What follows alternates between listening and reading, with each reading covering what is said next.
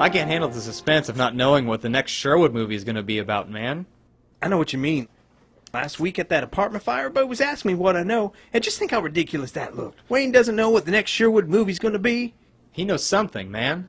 He doesn't know this. Oh, I know. Captain, I've got to know about the next Sherwood movie. I need to know. Tell me what you know.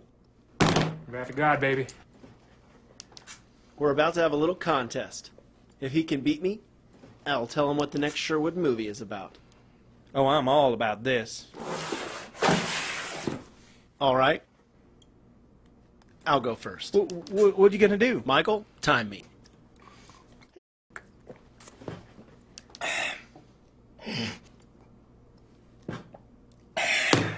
Twenty-three seconds.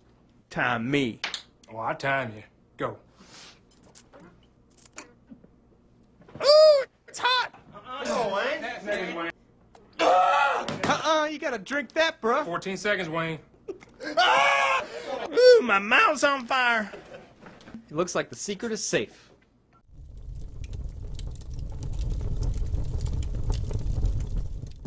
Sanders, did you go check out the car and let me know what you got?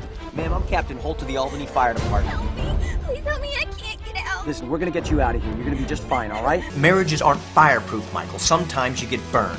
Fireproof doesn't mean that a fire will never come, but that when it comes, you'll be able to withstand it. You can't love her because you can't give her what you don't have.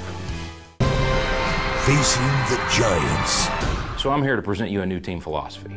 We need to give God our best in every area, and if we win, we praise Him. And if we lose, we praise Him. For the rest of your life, you will remember today. I want you to remember that you held nothing back. You did not lose heart. You did not stop fighting. You did not quit. Why are you interrogating me? I'm a used car salesman. I sell cars. At dishonest prices. That's enough. You know, this is a beautiful car, but until we get that piece that fixes the engine, it's not going anywhere. Help me, Jesus. What are you doing, Jay? I'm changing the way we operate.